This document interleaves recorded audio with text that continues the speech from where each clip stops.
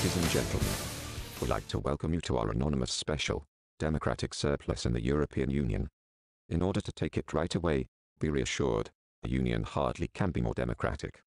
On 1st of March, 2012 the Law Committee of the EU approved against a draft, which is designed to make the access for orphaned works easier. Works are automatically copyright protected. They become orphaned when its author is unknown or his heirs cannot be traced. According to the protocol it was rejected by 14 to 12 votes. The problem is that the legal committee has only 24 members, of which one was absent. From where the three additional votes came is unknown. The member of the European Parliament, Christian Engström, requested a repeat of the voting. Unsuccessful. His assistant declared this as democratic form of temporary surplus. We shouldn't complain about too much democracy. Putin's election results in Chechnya pale next to this. Three cheers for our democracy.